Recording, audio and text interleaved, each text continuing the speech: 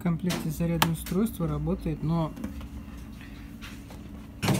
без шнура. В комплектации идет только блок. Э, в комплекте нету шнура восьмерки. Такого обычного шнура. Его нет. Идет только вот сам блок и кабель.